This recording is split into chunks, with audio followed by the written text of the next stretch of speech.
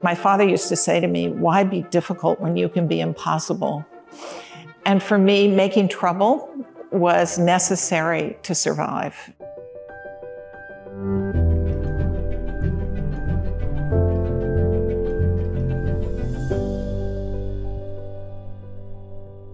We're really delighted this afternoon to have Drew Faust back here at Goldman Sachs. You all know that she served as the president of Harvard University from 2007 to 2018. Currently, she's the Arthur Kingsley Porter University professor. She was the founding dean of the Radcliffe Institute for Advanced Study. Before Radcliffe, she was the Annenberg Professor of History at the University of Pennsylvania. But most importantly, most importantly, she served on our board of directors from 2018 to 2023. Most importantly. Not necessarily most importantly, but most importantly to us. But it really is nice to have you back in the building and back here. You're the author of several books, the most recent of which we'll discuss today, which is called Necessary Trouble Growing Up at Mid Century, a memoir of her high school and college years, during which she not only traveled behind the Iron Curtain at the height of the Cold War, but also participated in the Selma to Montgomery March in 1965. And so you've got a very, very fascinating perspective on that chapter in our history. So let's first start by welcoming Drew Gilpin. Thank you so much. So let's get right into it. And it's always good to start at the beginning of a book. And I'll just start with the title. okay, you say that in the book that you asked for permission from a civil rights icon to use a famous phrase of his. Can you tell us who it was, why you decided to use his words, and what you were trying to capture as you framed this book? So the book is called Necessary Trouble, and for many of you that may resonate good trouble, necessary trouble words of John Lewis, who was a hero to me from the time I was in college and saw him have his head beaten in on the bridge marching from Selma to Montgomery. I got to know him a bit while I was Harvard president. And as I was writing the book, I came to think this is, would be a perfect title. I was searching for a title. And I thought it would be a perfect title because the book's about growing up in Virginia in the 1950s and 60s in a segregated society where my mother told me that it was a man's world, and the sooner I figured that out, the better off I'd be. And so I was in open revolt from the time I was very small as she tried to make me into a lady and a good Southern lady, and uh, also to uh, introduce me to the segregated ways of the society that she and all my relatives and everybody around me in my white world took for granted. And my father used to say to me, Why be difficult when you can be impossible? And for me, making trouble was necessary to survive, to resist what I saw as the very unhappy lives of my mother and grandmother, and to find a path that I could follow with satisfaction and joy in my life. So when I was finishing my term as Harvard president, John Lewis in 2018, skipping forward rapidly here, in 2018, John Lewis gave the talk at my final commencement as a um, gesture of friendship because we'd collaborated on various things during my presidency. And he got up as he began his remarks and turned to me and said, Thank you for making necessary trouble. And I was so honored to have been addressed in that way by him that the words came to me as a possible title. But it seemed presumptuous of me to take those words somehow, and I was worried about it. So just two months before he died, I had a phone call with him and I said, Would it be okay if I called my book Necessary Trouble? Well, John Lewis was one of the most gracious, generous human beings who ever lived. And he said, Of course, of course, I would be honored if you'd call your book that. So the book is called that. Uh, I think, in one way, to honor him is an homage to him in a sense, but his life is what honors him. Far be it from me to say I could honor John Lewis anything beyond what his life honored him as. But, yeah. but I was very grateful to be able to borrow these words. Can I touch on your mom, you know, since you raised it? And I know, you know, you begin the book with what has to be for any person a devastating moment in your life at 19 years old, the death of your mother. And you later said that, quote, I'm sure she loved her children, but I'm not sure she liked or enjoyed us. Talk a little bit more. I mean, you hinted at this, but talk a little bit more about your relationship with your mother and the impact it had on you. The book begins with a description of her death, which came in the eyes of all of us children, we thought at least very suddenly on Christmas Eve in 1966 when I was a junior in, in college. And I just had a huge fight with her the week before demanding that I be allowed to do something that she thought I was not proper. I wanted to go visit a boyfriend in Connecticut before I came home from college. She said under only only under certain circumstances if she heard from his parents that they were going to be there to chaperone us. I said, "What century is this?" You know, and I just threw this fit and went anyway. So I come home and my mother's unwell and soon is taken to the hospital, has surgery and dies. And it was shocking and horrifying. But as I thought about it, and particularly looking back as I, as I wrote the book, my mother was extraordinarily thin. She was about five feet nine and weighed about 90 pounds. And I think in retrospect, she was an adult anorexic. And I think it was a part and parcel of her unhappiness and her deep dissatisfaction with the constraints on her life, which gave her in her social milieu and the expectations around her no choice but to devote her life to children and husband. And in my interpretation of it, she kind of erased her own self until literally physically she erased herself. And so I fought with her from the time I was a tiny child about wearing little lace clothes and doing girl things and not being allowed to do the things my brothers could do. And so we were always at loggerheads. She had very strong ideas and she asserted them. But it was very difficult. I don't think we ever, I, I know we didn't, we never resolved that conflict. Did you have any sisters or were you the only? I'm only girl, three brothers. Three brothers. So that dynamic at that point in time also was was very different. Yes, There was and definitely when my a double standard. for sure. Yeah. And when my youngest brother was born, he's eight years younger than I am. I was eight years old, so I go to the phone and to pick up the phone, and someone's on the phone saying, "Your mother just had a baby," and I wait with bated breath. I was so relieved it was a boy. Because I thought if it's a girl, I have a lifetime of negative comparisons to look for because I was so at odds with what I was supposed to be. And I thought if I had this ideal little sister, it's going to be miserable. I figured that out at eight. So that I think is an illustration of the collision course we were on. Attention. I want to go back because you were talking about, and you highlighted that you grew up in a segregated society, but you said you didn't really appreciate the level of inequity until you had an epiphany in 1957. Talk a little bit about that. You wrote a letter to someone very important. Who was it? What did the letter mean to you? Talk us through that. It, I was driving home from, being driven home from school in 1957 by an African American man who worked for my family, who drove us children around and did various things around the household. And I lived on a big farm. He would help out with some of the, the issues on the farm. And I heard on the radio conversation about integration of schools. And this was not long after Brown v. Board had mandated that schools be integrated. And Virginia's white establishment decided that they would advocate for closing the schools rather than integrating them, just eliminating public education, which they did in several counties until courts made them open them again. So I was hearing all this debate about this surrounding the governor's elections in the aftermath of the implementation of this program called Massive Resistance.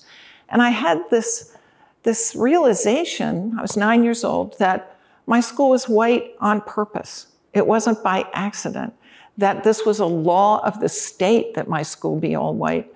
And having for uh, an, however many years, set, uh, nine years, said to myself, it's not fair, it's not fair as I was told to do or not do things that my brothers were not required to do or not do. I suddenly realized this was really not fair. This was much more unfair than the, the petty issues that I'd been dealing with as a girl in a family of, of, of three brothers.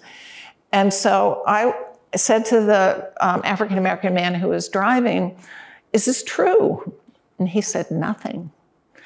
And I said, If I painted my face black, I couldn't go to my school tomorrow? He said, Nothing. And that was revealing in itself. And so I went home and I sat down and I wrote an irate letter to President Eisenhower demanding that he integrate the schools it's reproduced on the first page of my book. You can see the little letter.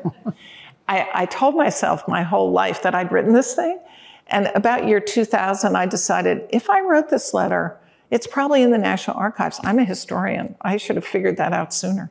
so I wrote to the National Archives and they found the letter, found the letter. in That's the amazing. Eisenhower Library Yep. in Kansas. Yeah. So I was able to reunite myself with this very bossy letter from a nine year old girl to the president about integrating the schools and how important it was.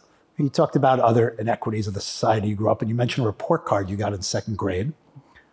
The headmaster of your school was ambivalent about your performance. I find that shocking based on what I know about your academic credentials and your engagement, you know, certainly on our board. But this headmaster had a surprising piece of advice. Well, he was ambivalent because I was such a good student, David. Oh, okay. Um, I was doing really well in school, and the preceding summer, I'd read some enormous number of books. I can't remember what. And we were supposed to, at the end of the summer, list all the books we'd read. So I came in with this tome of, of uh, titles that I'd read. And so he said on my report card at the end of the second grade year, I should read fewer books the coming summer, that enough is enough.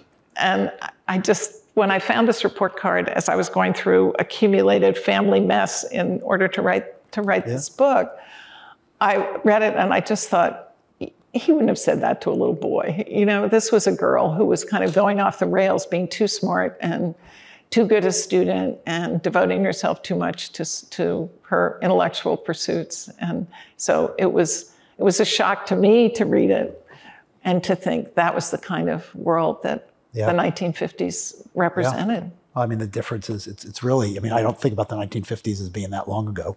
Yeah, That's because you're only 62. I know, but it's still, I, mean, I, was, I, was, I was born in 1962, but still, it is interesting because it, it, it obviously, there's been enormous change, but it's not that long ago. Well, you know, that, that's really the reason I wanted to write this book because it was another world in so many ways that I think so many of you would not recognize. And I, I wanted to make sure that young people knew how different it was and how much things have changed. I think there Yeah. can be a certain despair. Nothing's ever changed. A lot has lot changed, changed. since I was a kid. Yeah. You know, when you were 13, you enrolled in Concord Academy, which was an all girls boarding school. And you mentioned a moment when the headmistress, one Elizabeth Hall, took you aside and said something that had, quote, an enormous impact on you. Who was she? Why did she have such a big impact? So, Mrs. Hall was a woman who was just undaunted by almost anything. And she drove a tractor around the school in order to build a skating rink.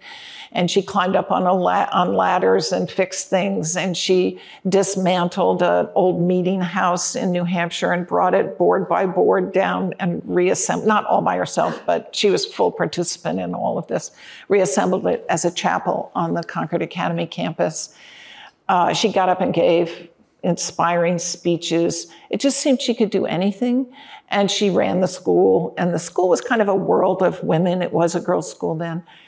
And I, it, I saw such a contrast with the women of my mother's social circle, the parents of my um, elementary school friends. This was a woman who could do anything and proceeded to try to do everything. And so it represented for me a different kind of model of what a woman could be. Yeah. And getting out of Virginia and going to New England, I think, was part of that. Who she was was just, she was unto herself, but she was inspiring. And she took me aside one night and so, I can't remember what I'd done that hadn't pleased her. I mean, I hadn't done anything terrible, but she mm. just thought I could do more, I could do better. And she gave me a pep talk. And I thought, wow, she noticed me and she's so accomplished. Maybe I could be accomplished too. And it had a, it had a big impact. Had a big impact. Well, in the summer of 63, you did something that I think at the time must have been really extraordinary. You went to West and East Germany, Czechoslovakia, Yugoslavia, in a Ford microbus with six other high school students. And I assume it says two leaders, but I assume they were two adults. Well, one was a college student and Okay, one was an so adult, a, a- a micro adult. a micro adult. but um, why did you take this trip? What prompted you to take this trip? And, and give us some of your impressions of what it was like to be behind the Iron Curtain, you know, in 1963. I was, I think I was pressed to do this um, by the experience of the fall of 1962, which was the Cuban Missile Crisis. And sitting on an empty classroom one evening at Concord Academy with six or seven of my friends talking about how the world was going to end and what would we most regret having missed when the world ended the next day or in a couple of days.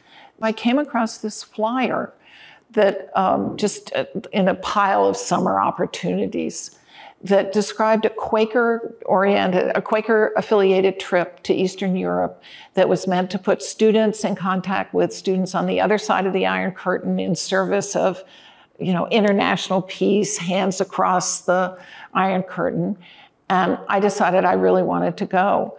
And this trip was eye opening in so many dimensions. One of them was it was really the first time of the nine people in this little minibus, the two um, adults and the, the others, um, three were African American. And I had never been in such close proximity in a uh, environment of equality and community with African Americans. That even Concord Academy was largely segregated, even though it was in New England in, in the early 60s. And so this was transformational for me. Uh, and then the experience of being in Eastern Europe was as well. We went across the, went through Checkpoint Charlie, through the wall. Um, we wondered as we went, why are we doing this? All everybody in East Germany seems to want to get out, and we seem to want to get in. We had this little moment of, of anxiety as we went through the wall. Uh, and we saw a society that was highly repressive. We had a minder who followed us everywhere and tried to, to make sure that we didn't meet with people illegitimately or see anything we weren't supposed to see. But we did see things we weren't supposed to see because one of these adults was a person who had emigrated from Germany at the time of World War II. He was Jewish, he'd left Germany, but he knew many people who lived in East Germany. And so we'd have these connections and, and interactions with unapproved um, East Germans. Our minder lost his job after we left. Oh, wow. Because he had permitted this to happen. But he was constantly trying to represent the philosophy of East Germany to us and defend East Germany. And I got a real, because he was so adamant, I think I got real insight into the logic that kept that society glued together as long as it was. It wasn't exclusively force. And I mean, there was a lot of force. Mm-hmm. And we saw pe- places where people had been shot. We had young people come up to us and say, Would you help me escape?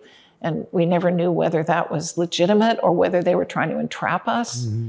Uh, there were no um, African Americans in East Germany, and people would come up to the African Americans in our group and try to touch them and touch their hair and ask them things like, Will your skin color wash off? So it was like going to a completely different world in, in every possible way. Uh, Czechoslovakia and Yugoslavia were less oppressive, a bit more open, Yugoslavia being the most open of the three. Right. And a lot of spirited. We went to a youth camp for a time where young Yugoslavians were helping build roads to make bring the country up to a standard of living that was more competitive. And you got more of a sense of buy-in to the Yugoslavian experiment. But of course, every country that I've just mentioned no longer exists. Yeah. yeah. Yugoslavia splintered in a terrifying way and a tragic way uh, with all the death of, in the um, Balkan Wars. Czechoslovakia is, of course, Czech and Slovakia, and East Germany is now reunited. So those countries were all unstable in ways that we've only seen um, play themselves out in the decades that followed. Yeah. So the next summer you chose to do something very different, and I assume in some way there was some impact on this experience that set you on the next experience, you joined a group of 15 high school and college students, three adult leaders to travel to sites in the South to learn more about the cause of civil rights, you know, in the South. So this came out, the person who'd organized this Eastern Europe trip contacted me a couple months after we got back and he said, You know, I don't know why I'm taking everyone to Eastern Europe. We have so many things going on in our own country that are so divisive and so troubling. I want to take a group of students down to the South next summer and see if we can have conversations across lines of difference in the South. Well, that was the original impetus, and we did meet with a number of white segregationists. However, we were a mixed group in, um, racially, and we were staying with members of the black community who were active in civil rights. I remember in the one place we were was Orangeburg, South Carolina, and the family I stayed with there, the nine-year-old had been arrested 12 times for protesting um, and doing civil rights activities. So we more or less just joined in with the black families and, and um, people that we were staying with and that we um, met through these Quaker ties. And so it was a summer that was a pretty dramatic one in the South. It was this Freedom Summer in Mississippi. It was right after the Civil Rights Act was passed. And so we spent a lot of our energy testing the implementation of the Civil Rights Act that said you cannot have, you cannot deny service to Black people in public accommodations, which had been the case beforehand. So we would go to the A&W root beer in a mixed group and see if we would be served and um, just generally try to kind of test the limits of the enforcement of the Civil Rights Acts. And this was all shortly before the Civil Rights March from Selma to Montgomery, which you decided you had to join. And it sounds like you had a fascinating experience around that. One thing you highlighted with the National Guardsmen. So I, after the summer that I just described, I went off to college, and in the spring of my freshman year, I saw John Lewis have his head bashed in on national television, and in this horrifying way that made me think if this goes on in my country, I have to do something about this. I can't live with myself. I think partly it was I had known, met so many young people the previous summer who themselves had been activists and who might well have had their heads bashed in on television. It was, I felt very proximate to what was happening because of my previous summer's um, experience. And so I cut my midterms and said to my boyfriend, come on, we're going to Selma. And so we got in, we borrowed a car and drove from Bryn Mawr, Pennsylvania to Selma. The incident David was asking about, we were driving down to Selma and it was a march, the John Lewis head bashing march happened. And then this was a subsequent march that was meant to um, say we're going to get there anyway, even though the first march had been turned, turned back. As we were driving south, we heard that um, President John, Lyndon Johnson was going to call out the National Guard this time to protect the marchers so there wouldn't be another bloodbath. And we felt this huge sense of relief. We were about in South Carolina at that point, thinking, okay, this isn't going to be as, as frightening as we had anticipated. And we got to Selma and parked our car to rush over to the meeting point for the starting of the march. And I was walking along the sidewalk in Selma, and these two National Guardsmen came towards me, and I sort of thought, oh, good, these are the people who are taking care of us. And as they were walking by me, one just reached out and slammed me in the breast and just kept walking. And I was so shocked. I mean, I wasn't badly hurt or anything, but I was just knocked the air out of me. And I, I, I just thought, oh, yeah.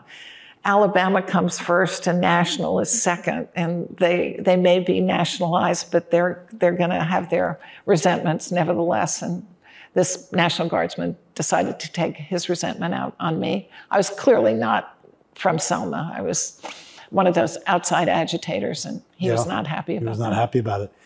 Shortly after that, you attended your first anti-war rally in Washington D.C. in the mid '60s, and you've certainly attended a bunch of anti-war rallies, and it's been something that over the next you know, five years, you became a significant participant in these anti-war protests. Talk a little bit about how you thought about that, why it was so important to you, and how your impression of it changed kind of through the journey mm. of the rest of that decade.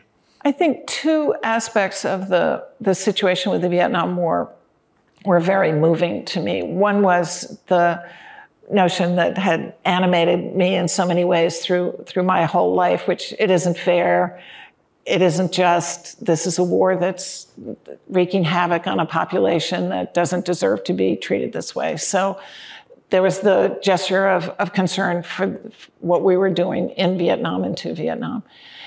Also, the draft was a very real presence in the lives of anybody who was in college in those years. Time, yeah. Bryn Mawr and Haverford College were um, coordinate colleges at that point. So I knew many Haverford students, all the Haverford students I knew actually were struggling with what they were going to do about the draft. Were they going to go to Canada? Were they going to serve in the military? Were they going to go to jail? Were, were there still become... educational deferments when you started at college, or There were, but when they graduated, Yeah, when they graduate, yeah. they had yeah. to go. Yeah. So unless they did certain um, particular lines of study, you could be a doctor under something called the Berry Plan, Mm. postpone your service, but then you had to do your service later. Mm. If you went to divinity school, you could get out of it for a certain period of time.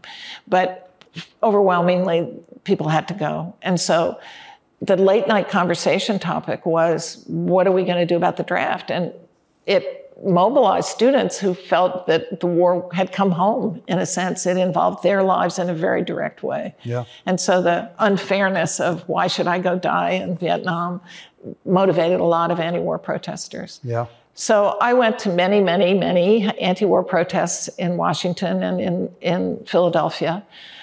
But I was always a peaceful protester. And when the anti war movement began to splinter and the more violent part of it emerged, I did not join that part. And I had many college friends, who or some college friends at least, who did. And one very good friend of mine joined the, the violent part of the movement and then disappeared into the weather underground for a mm-hmm. number of years. And that was the way the 60s were. There were a lot of people who kind of tipped over the edge in, in one way or another into violence, into drug use, into various other dimensions of the culture change that was overwhelming that particular college generation. So I always remained a peaceful protester, a frustrated peaceful protester, but perhaps the Quaker links of my earlier involvement had an influence as well. Yeah, it was an interesting period. And I want to get to a little later in the decade of 1968, for example, which was a really, you know, interesting year. If you think about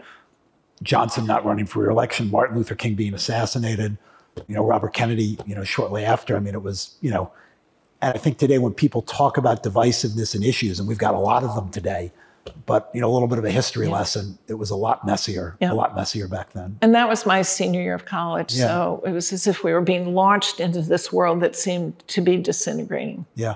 The um, Johnson saying he wasn't going to run again was a huge, an astonishing shock. And then just what four days later, Martin Luther King's assassinated. That was that was such a blow, and it was followed by um, violence in the cities, uh, many cities across the nation of a sort Kent that State, 1968? that was 70. 70. That was 70. later. Okay. But the, the violence uh, in urban areas in Washington, D.C., people were fleeing the city, trying to get away from the violence. Yeah. Uh, and then right after my graduation, like a week after my graduation, Bobby Kennedy was shot. It just, it was unimaginable. And then the Democratic convention that summer, again, rioting in the streets in Chicago as Serious ride in the streets. serious rioting in the streets. Yeah. So the place of violence in American life in in that year, and really urban riots throughout my college years, it seemed that the nation was in violent upheaval in a very frightening way. By the way, it was. It was. It was. It was. It was. And and especially when you have a perspective of thinking now, you know, much, much, much, much more so than now. Mm-hmm. Much, much more so than now. I kind of skipped over because I wanted to ask you about Bryn Mawr, which you talk about as a you know an intellectually stimulating place, but you also talk about limitations. You know, what was it like? You continued from Concord to another all girls school. You know, talk about Bryn Mawr and kind of your take your take. So I just want to establish a little fact here, which is um, people have said to me, So why didn't you go to Princeton like your father and your brother? Because Princeton didn't take women when I was going to college. So just remember that this is also not, I mean, here's a living person who was not able to apply to a whole bunch of schools that now can't remember that they were exclusively male. And uh, if I had gone to Radcliffe, which was the women's part of Harvard, I wouldn't have been allowed in the undergraduate library. So there were women at Radcliffe as part of Harvard, but they had different access to different aspects of the university community. It's, it's Well, just I- hard I, to remember. I chair the board of a small liberal arts college, not as prestigious as Princeton or or um, or uh, or Harvard, but um, that has completely forgotten that for you know it's it's it's been around for over 200 years, but it's completely forgotten that for most of those 200 years, It was all up men. to 1982, Yeah. it was it was all Yeah. men. Yeah. So I went off to Bryn Mawr College, which was, it still is, but it was even smaller then. It was tiny, but it had a reputation for being really intellectual. It had a tiny college with a graduate school of all things. And it was, again, this world of accomplished women, this time scholarly women who were doing research and had PhDs and were accomplished uh, writers and thinkers in their areas of study. And I think that was inspiring for me. And Bryn Mawr told us you can do anything because you're just as good as, if not better than, any man. So we're going to ready you to compete with men and crush them, basically, was the, they didn't quite put it that way, but that was implicit. And yet I realized, and other members of my class also have talked about this in the years that have followed, there was never a sense of we're going to change you to be able to change things for, things for women in general. Instead, it was we're going to make you so good that when you go out into that, into that man's world, you'll win. And so it wasn't really a feminist message. It wasn't a change the world for women message. It was go out and take the world as it is and conquer it.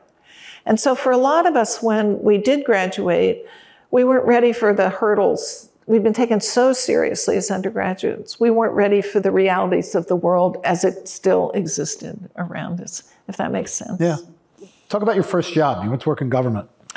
So, my first job was in government, and I went to work at the Department of Housing and Urban Development, which was then only a couple of years old.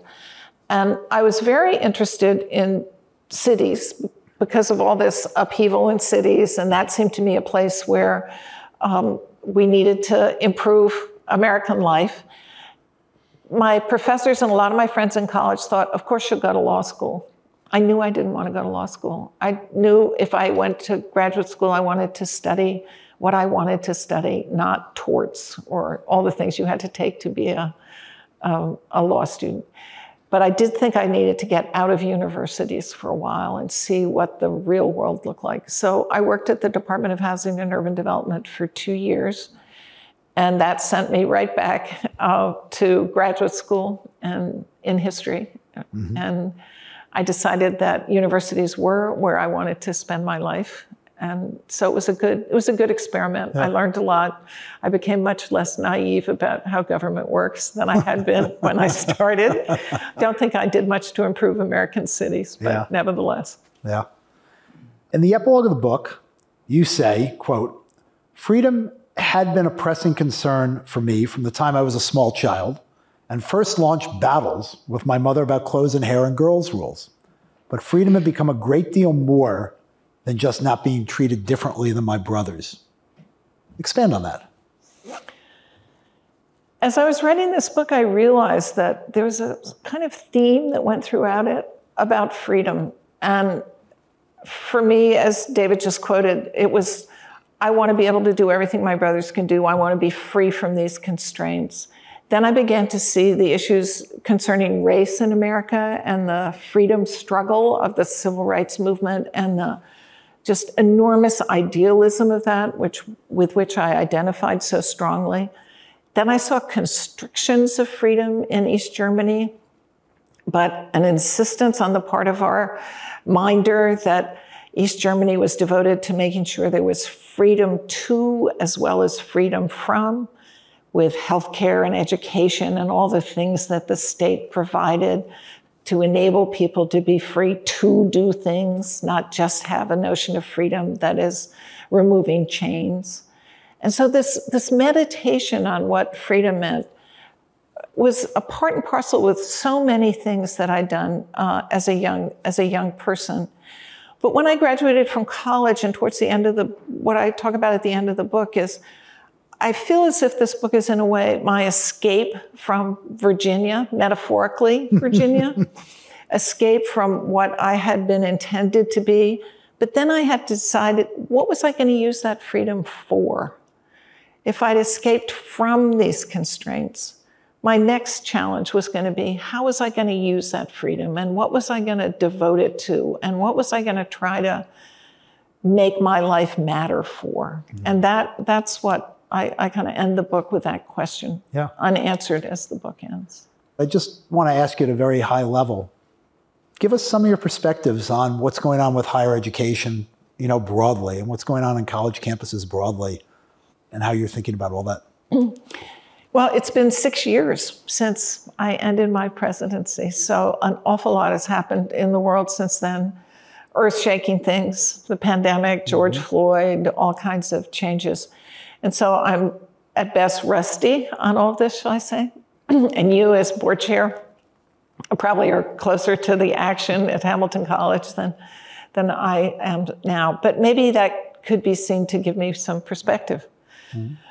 One of the aspects I would comment on is just how different colleges are now from when I was in college in ways that we have to recognize make them complicated places. In 1970, which would have been two years after I graduated from college, among uh, American adults over the age of 25, fewer than 10% had college degrees. In 2020, that number is close to 40%. So we have really expanded the inclusivity of American higher education. And that has meant an expansion of the diversity of American higher education and the potential for conflict and difference, even as we hold up this ideal of talking across those differences. A noble, noble ideal, I think, that we should continue to strive for but it's a tough one. And I particularly have thought about this in relationship to having been on campus at a time of war in my own youth and seeing campuses now in a time of war. At Bryn Mawr and Haverford colleges, just about everybody was from the United States. No one was fighting on opposite sides, literally fighting on opposite sides of the war that was going on. We now have students whose relatives have been killed or kidnapped next to friends of the students from Ramallah who were shot in Vermont. And we're telling these people, sit down at the table together and eat dinner, share the bathroom, share a classroom, and argue about these ideas. That is a big That's order. tough. Yeah. It's really tough. And so part of what I feel about higher education right now is we're asking a huge amount of ourselves. And if we just look about what's going on beyond the walls of universities too in this society, it's so divided. So that is in part what we're seeing reflected in college campus. On that note, Drew, thank you. Thank you for coming back and you. spending the time with us. Thank you for being here. Thank you all for coming.